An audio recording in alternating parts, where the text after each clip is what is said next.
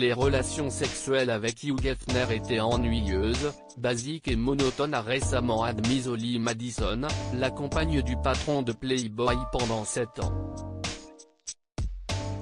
La jeune femme a ajouté qu'elle se rendait maintenant compte qu'elle souffrait du syndrome de Stockholm et qu'elle n'était pas amoureuse de lui. Dans le podcast Color Daddy, Holly Madison révèle les coulisses de sa relation avec Hugh Hefner, imaginez avoir des relations sexuelles avec quelqu'un dans une pièce pleine de femmes qui vous détestent toutes. Et vous savez qu'elles parlent toutes de vous.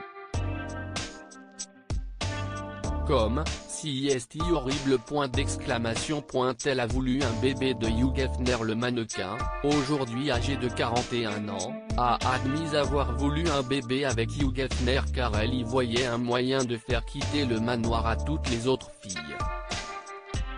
Je suppose que j'y ai pensé comme un ticket de sortie, à plus d'un titre. La dernière fois que le manoir n'avait pas eu de copines multiples, c'était lorsqu'Ef était mariée et avait deux enfants reconnaît-elle.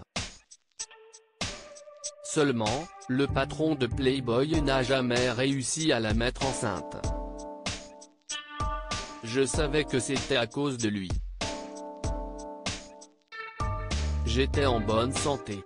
Il était tout simplement trop vieux assure la jeune femme qui est aujourd'hui maman de deux enfants. C'était une preuve concrète qui m'a giflé au visage qu'il n'y avait pas d'avenir pour moi au manoir ajoute celle qui a rompu avec Hugh Hefner en 2008. Elle avoue aujourd'hui être reconnaissante de ne jamais être tombée enceinte du patron de Playboy.